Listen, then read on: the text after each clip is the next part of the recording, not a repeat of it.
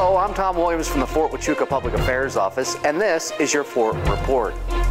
The Joint Interoperability Test Command, or JITC, marked 25 years of the organization's establishment at a ceremony in the JITC headquarters building on Fort Huachuca. The commander of JITC spoke.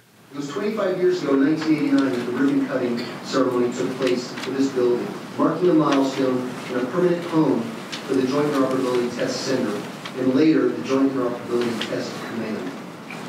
It's amazing how times have changed 25 years ago, when I first became a signal officer, a 16 kilobit digital voice telephone call through a tactical switch, either over satellite or UHF, was cutting edge. I mean, it was the best thing since sliced bread. And now we all have smartphones in our pockets, which do things that you know used to take an S-280 shelter of equipment to do. So times have changed, but it's all about the people. People don't change. The leadership doesn't change.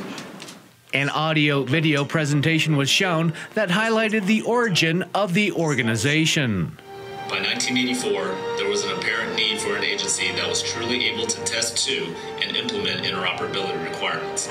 Toward this end, the first action was to redesignate the TriTAC office as a DoD Joint Tactical Command, Control, and Communications Agency, or JTC3 Alpha.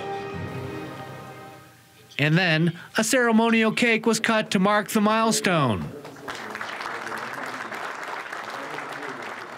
JITC conducts testing of security and information technology systems hardware, along with software and other components.